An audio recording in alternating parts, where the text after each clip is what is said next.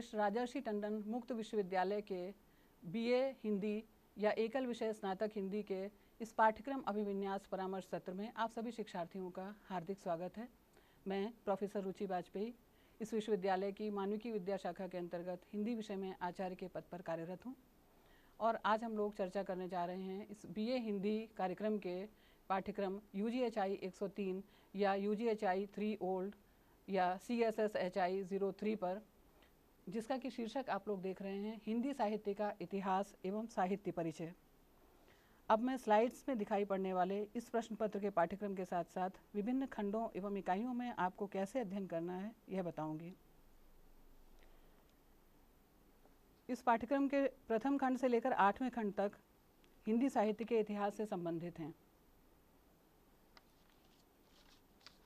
जैसा कि आप देख रहे हैं, हिंदी साहित्य के इतिहास की भूमिका पहला खंड है। फिर भक्तिकालीन काव्य पर है।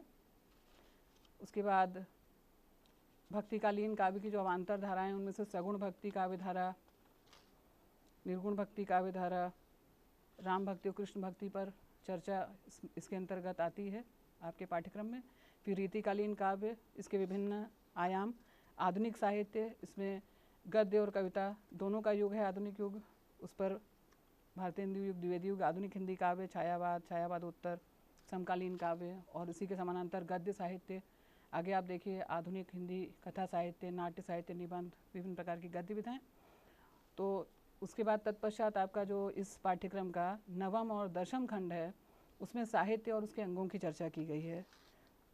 तो नवें और दसवें खंड में साहित्य एवं उसके अंगों का जो परिचय है, उसमें से नवम खंड में से रस के अलावा अन्य इकाइयों की चर्चा हम लोग एमए हिंदी के प्रश्न पत्र साहित्य सिद्धांत और समालोचना के अंतर्गत करेंगे, जो कि एम एच आई एक सौ नौ या M H I eight old नामक प्रश्न पत्र लेकिन इस, जो U G H I three का पाठ्यक्रम जो है, जिसकी हम लोग इस समय वर्तमान में चर्चा कर रहे हैं, उसमें हम लोग नवम खंड से रस की चर्चा यहाँ पर करेंगे।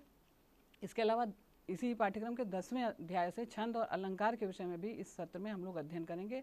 इस प्रकार से यू जी एच आई एक सौ तीन के जो नवम और दशम खंड हैं, उनमें से हम लोग रस, छंद और अलंकार की चर्चा आज यहाँ इस परामर्श सत्र में करने जा रहे हैं। इस पाठ्यक्रम में, जैसा कि आपने देखा कि पहले खंड से लेकर आठवें खंड तक विद्यमान हिंदी साहित्य का जो इतिहास है, उसको हम सुविधा की दृष्टि से अगर बांटें तो तीन भागों में बांट के उनकी चर्चा कर सकते हैं। स्लाइड में आप देखिए। इसमें प्रथम भाग है हिंदी साहित्य के उद्भव से लेकर रीतिकाल तक। दूसरा है आधुनिक साहित्य, जिसमें भारतीय युग से उत्तर छायावाद तक हम लोग ले सकते हैं। और तीसरा भाग प्रगतिशील काव्य से आधुनिक हिंदी गद्य साहित्य तक। तो इस प्रकार से हम बांट के हिंदी साहित्य के इतिहास पर सुविधापूर्वक और व्यवस्थित ढंग से अध्ययन कर सकते हैं। लेकिन हिंदी साहित्य के इतिहास के इन विभिन्न आयामों पर चर्चा चूँकि एम ए हिंदी प्रथम वर्ष के पाठ्यक्रम एम एच आई एक सौ छः M H I zero two old के अंतर्गत पहले ही की जा चुकी है, है जिससे इस पूरे आठ जो आपके खंड हैं पहले से लेकर आठवें खंड तक उसके विषय सामग्री को उससे देखकर आप पढ़ सकते हैं। और शेष के लिए यू जी एच आई एक सौ तीन और ज़ीरो थ्री ओल्ड का ये जो पाठ्यक्रम है उसके खंड नौ और दस के लिए विशेष रूप से रस छंद अलंकारों के संदर्भ में हम लोग यहाँ बात करने जा रहे हैं। अब पहले हम लोग रस पर चर्चा करते हैं, जिसके अंतर्गत हम लोग बात करेंगे रस के अर्थ एवं स्वरूप पर, रस के अंगों पर, विभिन्न रसों के उदाहरण की भी बात करेंगे। तो पहले ये देख लेते हैं कि रस किसे कहते हैं। कविता, कहानी, उपन्यास आदि को पढ़ने या सुनने एवं नाटक को देखने से जिस आनंद की अनुभूति होती है, उसे रस कहते हैं। संस्कृत में रस शब्द की उत्पत्ति है रस्यते असौ इति रसा, अर्थात जिससे आस्वाद मिले, वही रस है। भारतीय काव्यशास्त्र में रस पर शास्त्रीय दृष्टि से विचार करने वाले अनेक आचार्य हुए हैं, जिनमें सर्वप्रथम आचार्य भरत मुनि का नाम आता है। उनका प्रसिद्ध ग्रंथ नाट्यशास्त्र है, जिसमें उन्होंने रस की निष्पत्ति के विषय में अपना यह सूत्र दिया है, विभावानुभाव व्यभिचारी संयोगाद रस निष्पत्ति। ही विभावानुभाव व्यभिचारी संयोगाद रस निष्पत्ति। ही अर्थात स्थायी भाव से विभाव, अनुभाव एवं व्यभिचारी भावों का संयोग होने पर रस की निष्पत्ति होती है। अन्य शब्दों में हम इस प्रकार कह सकते हैं कि श्रोता या पाठक के हृदय में पाए जाने वाले स्थायी भाव, जब काव्य में वर्णित विभाव, अनुभाव और व्यभिचारी भावों से संयुक्त होते हैं तो जिस आनंद की अनुभूति होती है, वही रस है। रस के स्वरूप को समझने के लिए इसके उक्त अंगों की जानकारी आवश्यक है। तो हम रस के अंग देखते हैं। रस के चार प्रमुख अंग हैं। स्थायी भाव, विभाव, अनुभाव और संचारी भाव या व्यभिचारी भाव। स्थायी भाव किसे कहते हैं? देखिए, सहृदयों के हृदय में वासना रूप में स्थित शाश्वत मनोविकार साहित्य में स्थायी भाव कहलाते हैं। वैसे ये सुषुप्तावस्था में रहते हैं, परंतु अनुकूल प्रेरणा पाकर जाग उठते हैं और पुष्ट होकर यही रस बन जाते हैं। स्थायी भाव नौ माने गए हैं और इनसे संबंधित रस भी नौ ही हैं। लेकिन रति नामक स्थायी भाव के आचार्यों ने तीन भेद किए हैं। कांता विषयक रति, अर्थात नर नारी का पारस्परिक प्रेम, अपत्य विषयक रति, यानी संतान प्रेम, और देवता विषयक रति, ईश्वर प्रेम। अतः श्रृंगार रस के अतिरिक्त वात्सल्य और भक्ति रस को भी बाद के आचार्यों ने जोड़ा, और रसों की संख्या कुल ग्यारह हो गई। अपत्य विषयक रति की रस रूप में परिणति सूर्य ने करके दिखा दी, जिससे वात्सल्य रस को एक स्वतंत्र रस की मान्यता मिली। इसी प्रकार गोस्वामी तुलसीदास के काव्य कौशल के फलस्वरूप देवता विषयक रति की भक्ति रस में परिणति होने से भक्ति रस भी एक स्वतंत्र रस माना जाने लगा। इस प्रकार से ग्यारह रस हो गए तो विभिन्न रस और उनके स्थायी भाव इस प्रकार हैं। श्रृंगार रस, रति हास रस का स्थायी भाव हास, करुण रस का स्थायी भाव शोक है, वीर रस, उत्साह, भयानक रस, भय, रौद्र रस का स्थायी भाव क्रोध, अद्भुत रस का विस्मय, विभत्स रस का जुगुप्सा या घृणा, शांत रस का स्थायी भाव है निर्वेद वात्सल्य रस का अपत्य विषयक रति और भक्ति रस का स्थायी भाव है देव विषयक रति। अब हम बढ़ते हैं विभाव की ओर। विभाव किसे कहते हैं? विभाव वो हैं जो व्यक्ति, वस्तु या परिस्थितियाँ, स्थायी भावों को जागृत या उद्दीप्त करती हैं, उन्हें विभाव कहते हैं। विभाव दो प्रकार के होते हैं, आलंबन विभाव और उद्दीपन विभाव। आलंबन विभाव होते हैं कि जिन व्यक्तियों या वस्तुओं आदि का अवलंब लेकर स्थायी भाव अपने को प्रकट करते हैं, उन्हें आलंबन विभाव कहते हैं। इसके दो भेद हैं, आश्रय और विषय, या आश्रय और आलंबन। तो जिसके भीतर स्थायी भाव जागृत होता है, उसे आश्रय कहते हैं। और जिस व्यक्ति या वस्तु के कारण आश्रय के चित्त में रति आदि स्थायी भाव उत्पन्न होते हैं, उसे विषय या आलंबन कहा जाता है। उद्दीपन विभाव। भाव को उद्दीप्त अथवा तीव्र करने वाली वस्तुएँ, चेष्टाएँ आदि उद्दीपन विभाव कहलाती हैं। विभाव का एक उदाहरण देखिए। शेर को देखकर शिकारी के हृदय में भय नामक स्थायी भाव जाग जाए तो इस भय का आलंबन शेर को कहा जाएगा। जंगल में रात के सन्नाटे में शेर की दहाड़ सुनने के कारण शिकारी का भय उद्दीप्त हुआ तो यह सन्नाटा और दहाड़ उद्दीपन विभाव कहलाएँगे। अनुभव। जिस व्यक्ति के हृदय में भाव उद्दीप्त हुआ है, उसकी वे चेष्टाएँ या क्रियाएँ, जिनसे उस भाव का अनुभव होता है, अनुभव कहलाती हैं। तो यदि डर कर शिकारी भागने लगता है तो उसका भागना अनुभव कहलाएगा। स्थायी भाव के जागृत होने पर स्वाभाविक अकृत्रिम अयत्न जंग विकार को सात्विक अनुभव कहते हैं। ये स्वतः प्रादुर्भूत होते हैं। इनके लिए आश्रय को कोई चेष्टा नहीं करनी पड़ती। इन्हें रोका भी नहीं जा सकता। सात्विक अनुभव आठ माने गए हैं। ये हैं स्तंभ, स्वेद, रोमांच, स्वरभंग, कंप, वैवर्ण्य, अश्रु और प्रलय। आँख, भों, हाथ आदि शरीर के अंगों द्वारा जो चेष्टाएँ की जाती हैं, उन्हें कायिक अनुभव कहते हैं। इस तरह से अनुभव दो तरह के होते हैं, सात्विक अनुभव और कायिक अनुभव। तो डर कर शिकारी का भागना कायिक अनुभव है, लेकिन उसका कांपना और उसे पसीना आना सात्विक अनुभव है। अब हम देखते हैं संचारी भाव या व्यविचारी भाव किसे कहते हैं। आश्रय के चित्त में उत्पन्न होने वाले अस्थिर मनोविकारों को संचारी भाव कहते हैं। अन्य शब्दों में जो भाव कुछ समय के लिए आकर स्थायी भाव की पुष्टि में सहयोग देकर चले जाते हैं, उन्हें संचारी भाव कहते हैं। स्थायी भावों के साथ साथ संचरण करने के कारण इन्हें संचारी भाव कहा जाता है। एक ही संचारी भाव अनेक स्थायी भावों के साथ हो सकता है, इसीलिए इसे व्यभिचारी भाव भी कहते हैं। जैसे उत्सुकता संचारी भाव, श्रृंगार, अद्भुत आदि एकाधिक रसों में हो सकता है। ऊपर दिए गए शिकारी के उदाहरण में, शिकारी को भय लगते समय यह याद आ जाए कि इस स्थान पर शेर ने पहले भी एक शिकारी को खा लिया था तो उसका भय और बढ़ जाएगा। यह स्मृति जो आकर चली गई है, संचारी भाव कहलाएगी। आचार्यों ने संचारी भावों की संख्या तैंतीस मानी है, जो इस प्रकार है। निर्वेद, आवेग, दैन्य, श्रम, मद, जड़ता, उग्रता, मोह, विबोध, स्वप्न, अपस्मार, गर्व, निद्रा, अवहित्था, उत्सुकता, उन्माद, मरण, आलस्य, अमर्ष, निद्रा स्मृति, मति, व्याधि, संतरास, लज्जा, हर्ष, असूया, विषाद, धृति, चपलता, ग्लानि, चिंता और वितर्क।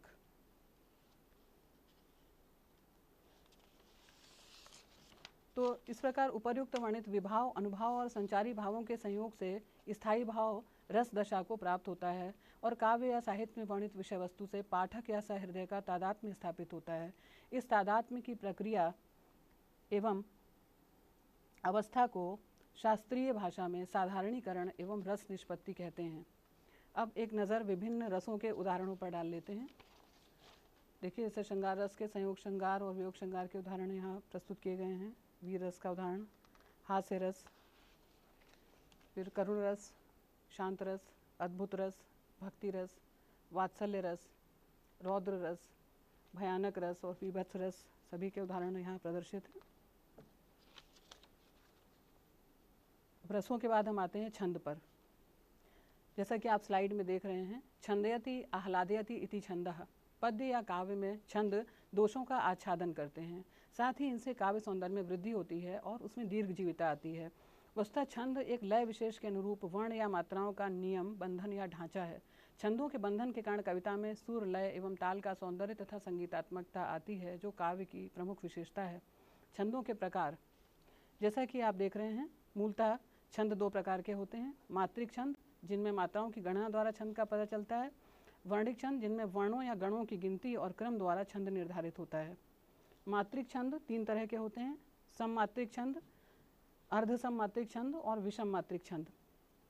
सममात्रिक छंद में सभी जो चारों चरण होते हैं, उनमें मात्राओं की संख्या समान होती है। अर्ध सममात्रिक छंद में विषम चरण और समचरण समान होते हैं मतलब पहला और तीसरा और दूसरा तथा चौथा। इनमें मात्राओं की संख्या समान होती है। अर्ध सममात्रिक छंदों में विषम मात्रिक छंद जो प्राय छः चरणों के होते हैं जैसे कुंडलिया और छप्पर। तो इनमें चरण सभी चरणों में मात, समान मात्राएँ नहीं होती हैं। इसीलिए इन्हें विषम मात्रिक छंद कहते हैं। वर्णिक छंदों में दो तरह के छंद होते हैं। एक तो समवर्णिक छंद होते हैं जिनके हर चरण में वर्णों की संख्या तथा गणों आदि का क्रम समान होता है और हर चरण में 26 या उससे कम वर्ण होते हैं। दंडक छंद जो होते हैं वर्णिक छंद का दूसरा जो रूप है दंडक छंद 26 से अधिक वर्ण जिन वर्ण छंदों में प्रत्येक चरण में होते हैं, उनको दंडक छंद कहते हैं। इसके अंतर्गत कुसुम स्तबक और मनहरण, जिसे कवित्व या घनाक्षरी भी कहते हैं, ये दोनों आते हैं दंडक छंद तो छंद में मात्राओं और गणों की जानकारी आपको कैसे हो इससे कुछ सिद्धांत हैं, जिनकी चर्चा हम लोग करेंगे यहाँ पर। चरण पहले आप जान लीजिए। प्रत्येक छंद चरणों में विभाजित होता है, चाहे वो मात्रा छंद हो या वर्ण छंद। एक छंद में प्राय चार चरण होते हैं, लेकिन किन्हीं किन्हीं छंदों में छह चरण भी होते हैं, जैसे छप्पय कुंडलिया आदि में। वर्ण और मात्रा की गणना आप समझिए। वर्णों की गणना करते समय वर्ण, चाहे लघु हो अथवा गुरु, उसे एक ही माना जाता है, जैसे रंक, राम और रामा।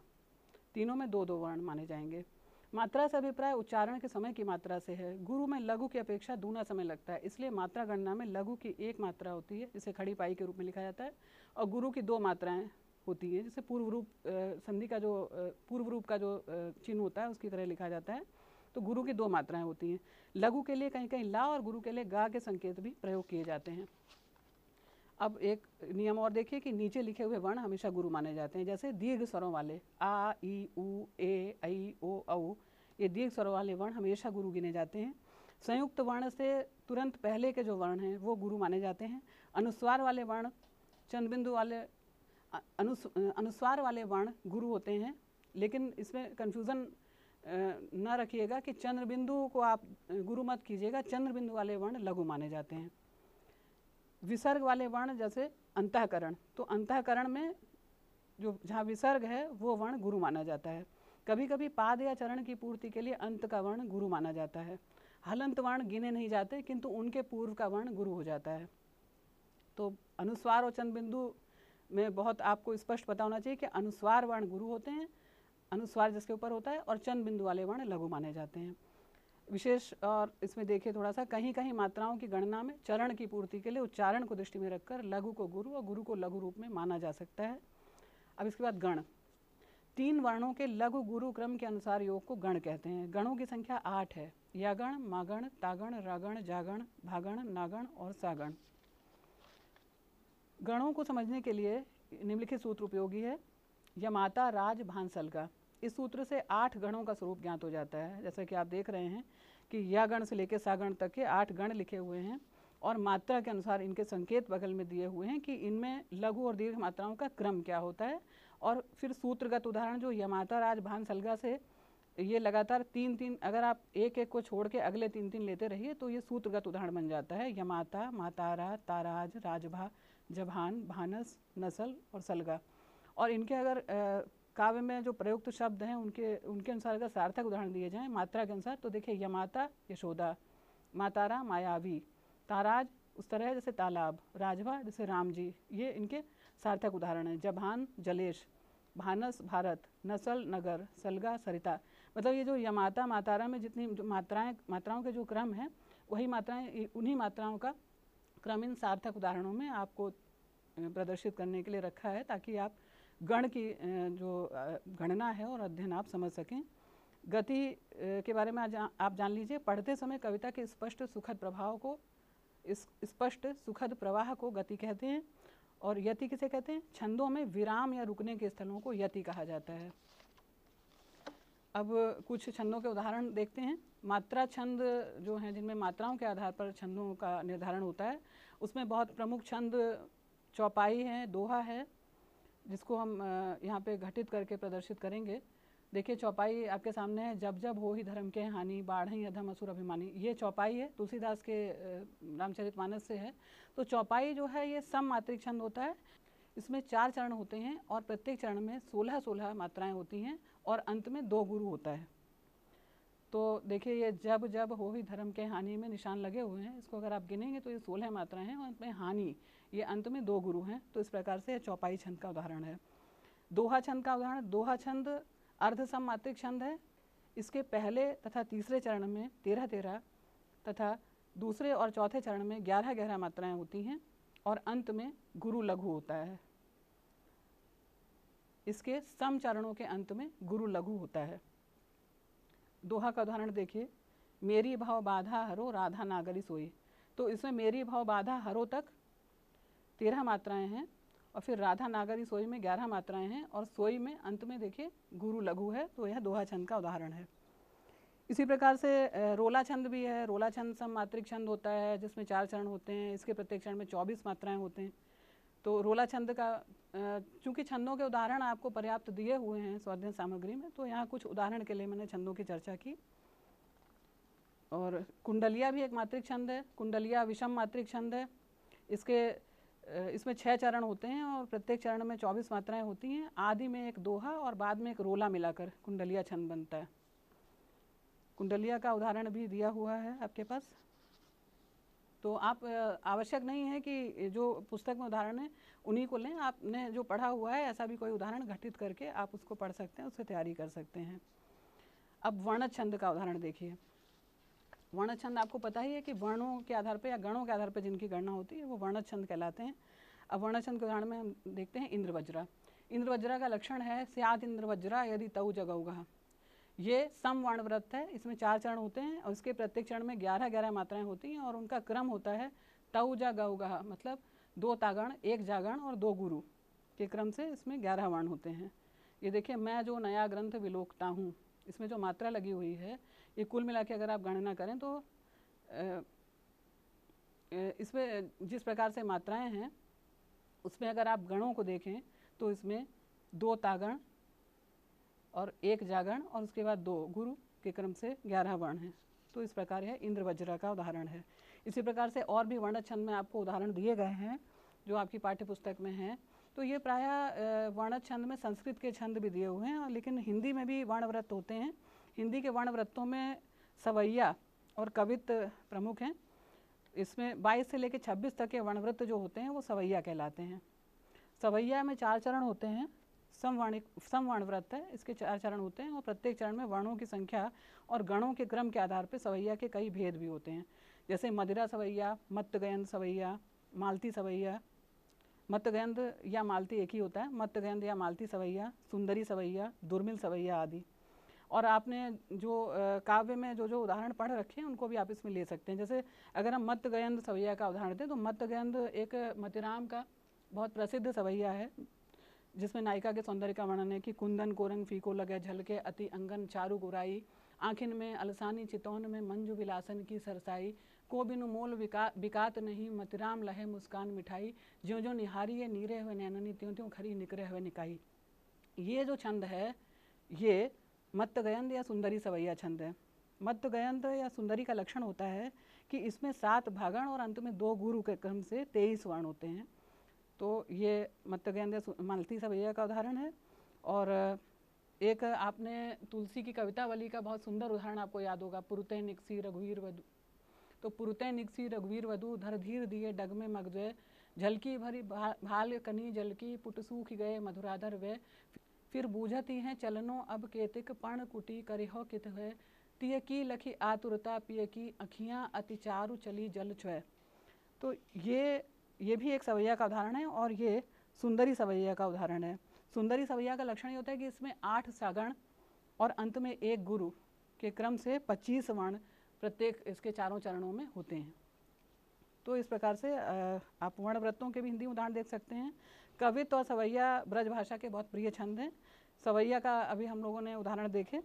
कवित्व जो होता है, ये दंडक छंद के अंतर्गत आता है, जो अभी मैंने पहले आपको बताया कि दंडक छंद जो होते हैं, छब्बीस अक्षरों से ज़्यादा जिनके प्रत्येक चरण में होते हैं, उनको दंडक छंद कहते हैं। और इसमें, इसके अंतर्गत कुसुम स्तबक और कवित्व जिसे मनहरण भी कहते हैं। और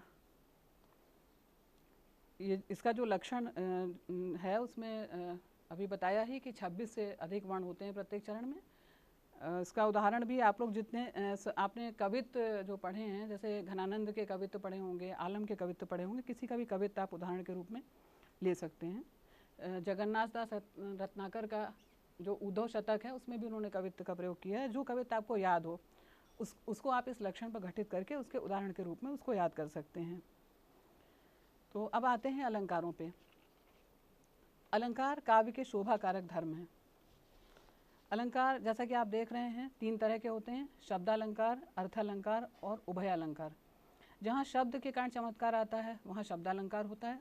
जहाँ अर्थ के कारण रमणीयता आती है, वहाँ अर्थालंकार होता है। यदि एक ही स्थान पर शब्दालंकार और अर्थालंकार दोनों तरह के, अर्थात एक से अधिक अलंकार आते हैं, वहाँ उभय अलंकार की स्थिति होती है। अलंकारों के लक्षण एवं उदाहरण बहुत स्पष्ट प्रकार से आपके अध्ययन सामग्री में दिए हुए हैं। पहले से भी आप अनेक अलंकारों को पढ़ते आ रहे हैं। थोड़ा सा ही ध्यान देने पर अलंकार स्पष्ट हो जाएँगे। अतः इनका आप स्वयं अध्ययन कर सकते हैं। कठिनाई आने पर मोबाइल पर या यूट्यूब पर कमेंट बॉक्स में लिखकर पूछ सकते हैं। इस प्रकार हिंदी साहित्य का इतिहास एवं साहित्य परिचय नामक इस प्रश्न पत्र पर आज हम लोगों ने चर्चा की। इस संपूर्ण पाठ्यक्रम पर जो प्रश्न बनते हैं, उनको भी मैं आपके समक्ष यहाँ प्रस्तुत कर रही हूँ।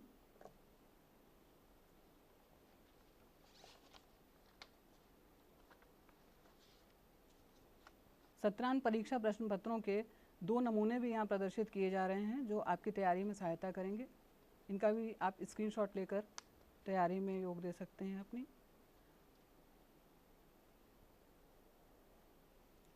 तो आज के सत्र में चर्चा हम यहीं पर समाप्त करते हैं। आप सभी को बहुत बहुत धन्यवाद। नमस्कार।